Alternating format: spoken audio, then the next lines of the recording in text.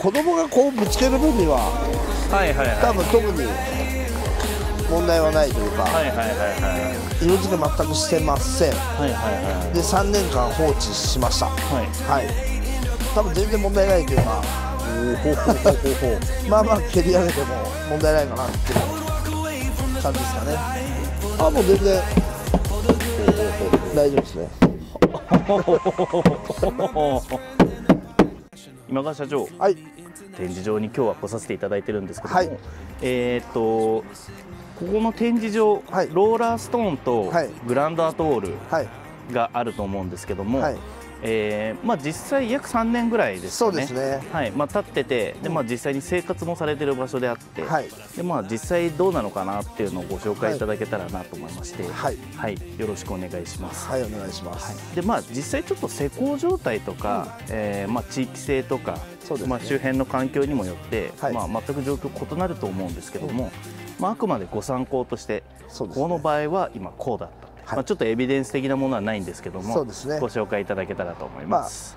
気候状況は、まあ、至って普通の、あのまあ、東北とかこうすごい暑い地域だったりとかではなく、まあでまあえー施工した場合の、えー、と施工事例になるので、はい、そうですね。あくまで保証できるためのものではないのでそうですね。ご参考程度にはい。ご覧いただけたらと思います。はいでまあ、早速なんですけど、はい。えー今川社長の裏面にあるこれ、はい。これローラーウォール。そうですね。これあのー下地は、えっと、グランドアートウォールではなくて純粋に、えっとまあ、擁壁と呼ばれるものですかね。でその上に、えーローラーウォールを施してもう早3年ですかね。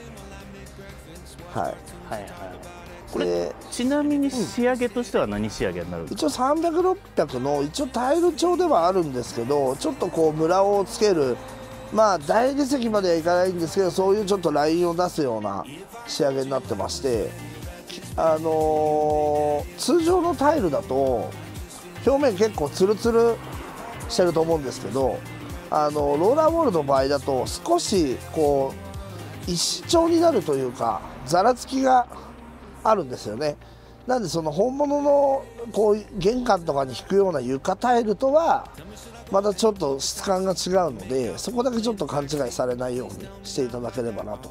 こうちょっとざらつきがはいはいはいはあるんですよね。いザラザラゴツゴツしてる感じで。まあそうですね。つるっとしたタイルとはまた別ですよね。そうですね。はい。あくまでもちょっと石調のタイル風というイメージですかね。はいちなみにあこれ目隠しも兼用されてる。そうですね。ちょうどここうちのあのリビングがあるところで、えーまあ下から GL から行くともう2メーターちょっとありますかね。はいはいはいはい。で実際の、えー床の高さがこのぐらいかな。はいはいはいはい。あそうですね。はいあるので中から見た時も一応目隠しでで外側から完全に目隠しっていうイメージですかね。はい。はい。ありがとうございます。うん、大体約3年経って、はい。今目に見えて何か不具合とかってありますか？うーん目に見えて不具合というのは特に今のところないですかね、あのー色落ちもしてないですし、えー特に剥がれてるっていう状況もないので一応3年間特に不具合ははいはいはないですかね、い社長お子様いらっしゃって、はい。結構ここ通られると思うんですけどそうですね。はい。あのまあ、なんかよくおもちゃ持って走ったりとかして、ぶつけたりとかしてはい、そういうのも全然大丈夫ですか？まあ、一応あの なるほど。なんですかねこれあの2番目の娘のポッピングってやつですかね。まあ本当あのまあこれ下地があくまでもコンクリートの擁壁として、えーグランダードールではないので、えーちょっと一回ぶつけてみましょう。はい。まあ実際には多分子供がこうぶつける分にははいはいはい多分特に問題はないというか、はいはいはいはいでちょっとまあゴムとかだとはい。少し跡が、はいはいはい。ゴムの跡がつく。うんうんうんイメージですかね。はい。はい。これは清掃したら落ちるんですえっとね、これはね、ちょっとゴムのは清掃して100%落ちるかっていうと、まあ、ちょっとなんとも言えないの状況による。で、状況によるので、はい。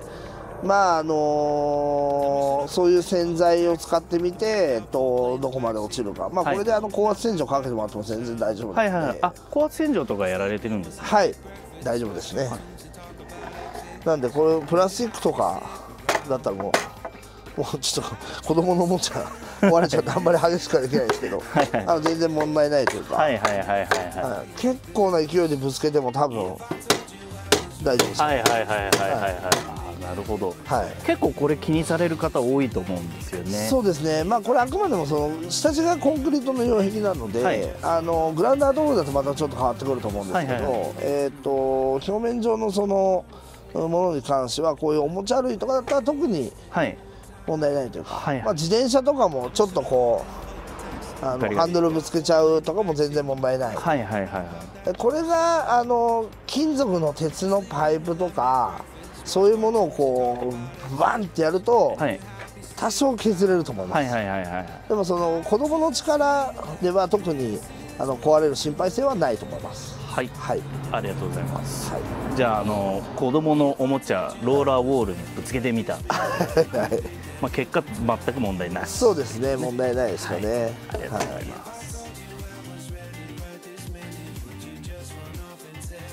馬川社長、はい。このローラーウォールの裏側にも何かあるんですか？はい、そうですね。一応あの色付けをしてない筋のまんまのローラーストはい。ローラーストーンるので。色付けをしてないローラーストーン、はいあううちのワンコロスケです。はい、ちなみにお名前は？ドルちゃん、ドルちゃん。ドルくん、ドルくんだ。ドルくん。はい、え トイプードル、トイプードルでございます。はいはい。はい。あなるほど。目隠しの裏側。こういう風になってるんですね、そうですね、ちょっと今ね、あの犬が出ないように簡易的な、今、はいはいはい。一時的にちょっと柵をしちゃってるんですけど、よいしょ、よいしょ。えっ、と、一応特に、えっ、と、今ここ、ローラーストーンですかね。はいはい。これ、色付け全くしてません。はいはいはいで、3年間放置しました。はいはい。これ今パッと見た感じ特に不具合一切起きてないそうですね、剥がれも特にないですし、まあ、やっぱ汚れはどうしても、はいはいはいつくと思うんですけど、特にこういうよ汚れというか、はいはあのうち周りが畑なので、いはいはいはいはい。ちょっと土汚れがどうしても、はい。あの風で運ばれてきて少しそれが溜まって雨水が雨が降ってちょっと羽ですかね。はいはいはいはい。そういうのはつくんですけど実際これもあの高圧洗浄でやればはいはい。あもう簡単にはい、落ちますんで、はい。なんかこうやって見てるとこの仕上げなしっていうのもありなんじゃないかってまあそうですね、まあ、ここ実際人しか乗らないので、はいはいはいはい。また車が乗ってくるとどう変化していくかっていうのは、えー今後もちょっとやっていこうかなと思うんですけど、はいはいはいはい。えー今の現状の中では問題ないはいはいはい。剥がれもないし割れもないし。で下のこれ下地コンクリートなんですけど、はい。コンクリートが割れるとどうしてもひび割れはローラーストーンで起きてしまうんで、はいはいはいはい。えー今回下地のコンクリート200圧で打ってますかね、200圧はい。はい。通常多分こういうタイルテラスとかの通常のコンクリートだと多分7センチから10センチの間なんですけど、はいはいはい。うんと地盤がうちはあのすごい良くて、えーでも前の道路県道なんで大型がすごい通るんですよね、はいはいはいはなんでやっぱそのひび割れをちょっと僕が気にして、はい。20センチほど厚みをつけていなるほど。打ってますかね。周辺の交通まで気にしてそうですね。計算されてるんですね。はい。なんで3年経っても多分一つもひび割れが全然ないですね。ないと思うんですよね。はいはいはまあここはねどうしてもその下地のコンクリートを厚めに打つとどうしてもお値段が上がっちゃうので、いはい。まああのどなんですかねクラックを防ぐ方法を取るか、まあ、やっぱりそこはお値段を落として少しでもこうお安く仕上げるかっていうところになってくるかなとはい。思います。わかりましはい、ちなみになんですけど、はい、これ何色で仕上げる予定ですか？これ一応ミルクティーとイエローベージュで一応仕上げる予定ですね。はいはいはいはいはい。あのーちょっとこっからの景色に映せるかな今後ろにヤシの木がはいはいはいは立ってると思うんですけどでこれ今白のジョリパッドで仕上げてるんですけど、はい。えっとこうちょっと海をイメージしたいなるほど。は形で仕上げる予定ですから、いはいはいはい。でまあここも目隠しに実際になって、はいはいはでここを通路としてはい。通るようなイメージですかね。はいはい。はい。いやこれ完成が楽しみですね。そうですねこれ今ちょっと思ったんですけど、これはい。ドッグランとして作られたわけではないですよね？えっと一応そうですね。あの目隠し目を、まあ、目の前に欲しくて、まあ、ここが全開口のサッシなんでこれを開けて、まあ、子供が出入りしたりとかあのできたらいいねっていう話で作ったんですけど、はいはい。実際あのもうドッグラン状態になってます。はい。はい。なんかこういうのもありですね、まあ、目隠し作って、まあ、部屋の前にちょっとしたドッグランスペースじゃないですけど、まあ子供も遊べてワンちゃんも遊ばされるような。そうですね。もうちょっとねこうなんていうのかな。うーんと意外とあの小型犬であればこのぐらいの広さで全然十分かなと思うんですけど、だい。たい5畳5畳ないか1234畳ぐらいですかね。はいはいはいはのスペースですけど全然問題ないかな。十分な広さね、はい、そうですね。はい。いや参考になります、はい。こういったドッグランの作り方もはい。できます。はいできます。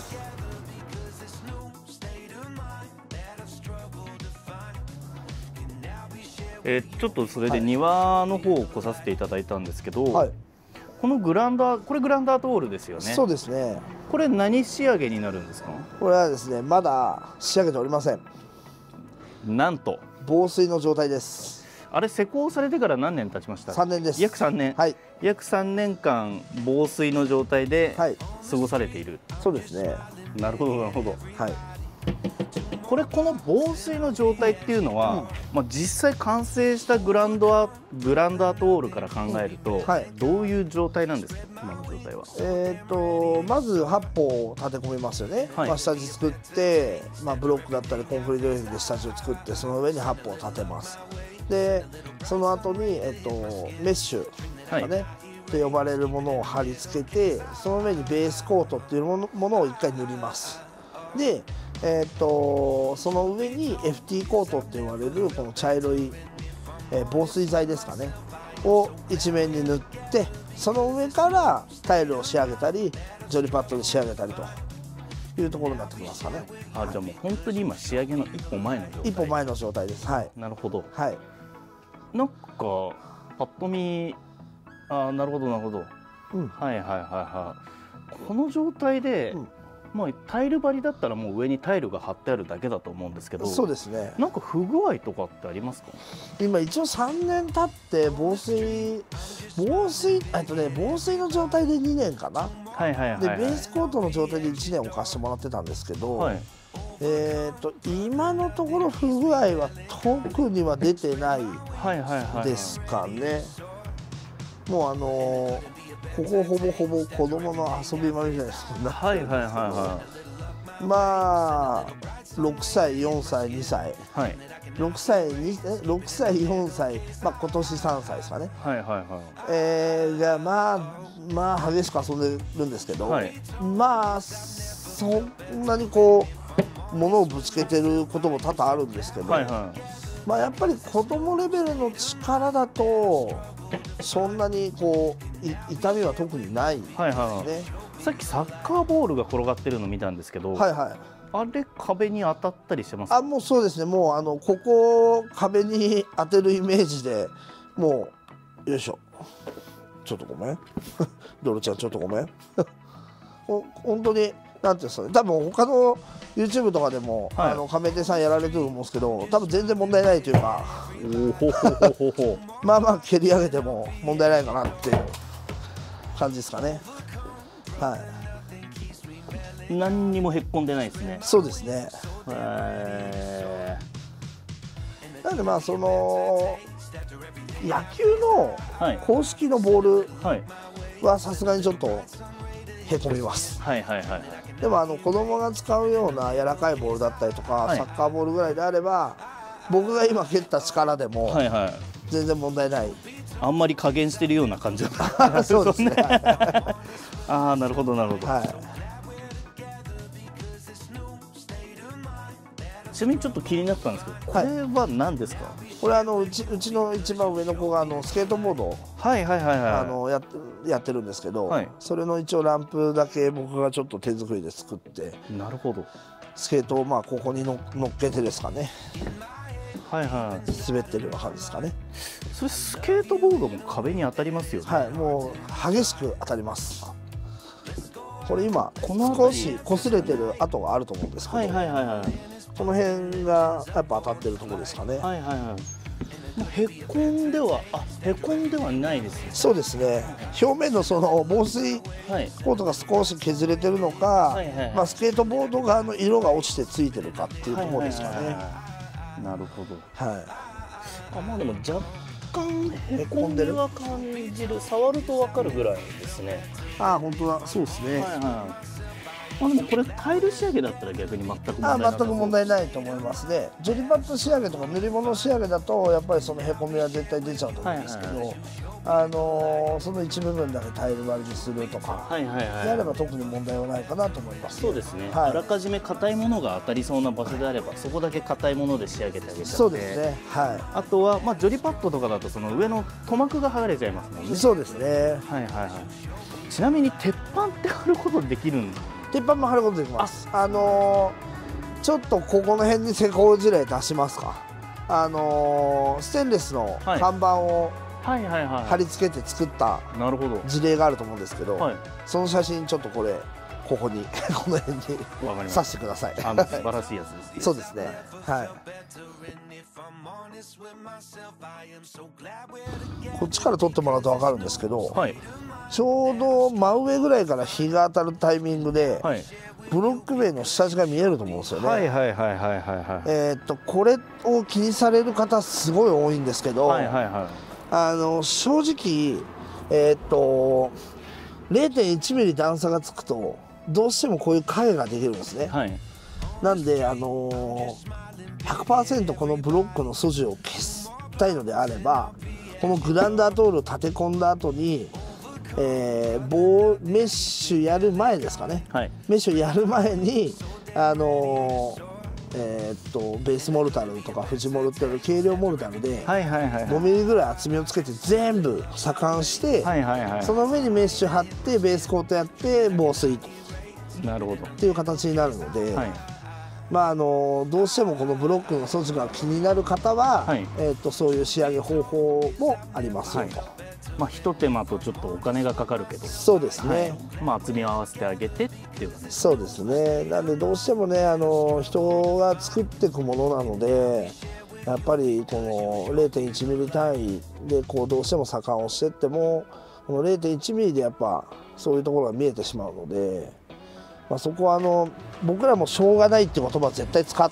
わないんですけど、はい。えーっとなるべく消す努力はいつもしてるんですけど、あのーやっぱ人間でも限界っていうものがあるので、えーだったらその上にあの表層の仕上げを、あのー変えるような形だったりとかタイルを貼るとか、あのー仕上げ方を変えて、あのー成功すればこのブロックの目地は消えていきますので、はい、ちなみに今ちょっとすごい気になっちゃったんですけど、はいはい社長今結構な力の裏剣をグランダートールにかましてたんですけど、はいはいはい、はい、全然大丈夫ですあもう全然。ほうほうほうほう。大丈夫ですねこれはあれですね、なかなかお客さんの、うん。お客様のお宅では実験できないことです。かね。はい、それはちょっとなかなか厳しいですかはいね。はい、全く問題なしですね。はい、問題ないと思います。ありがとうございました、はい。じゃあちょっとこの後琴美グループの資材置き場はい。そちらの方で案内していただきたいと思いますので、まあ一旦ドルちゃんとはお別れというはいことで、、じゃあ、バイバイしようか。バイバイして。初 YouTube 出演ってことで、ドルちゃんバイバイってみんなで。バイバイ。あのドルちゃんもっと見たいよって方はあの コメントはい。ご連絡ください。ください。